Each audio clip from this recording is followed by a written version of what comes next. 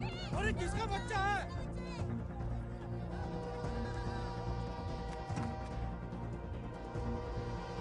रोहन कहाँ चला गया?